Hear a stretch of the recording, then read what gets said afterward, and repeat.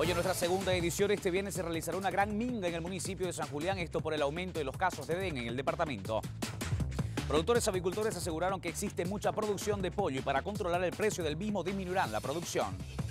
Trabajadores del frigorífico municipal se declaran en emergencia contra su gerente, no descartan tomar medidas de presión. Nos vemos a las 12 con 40 minutos.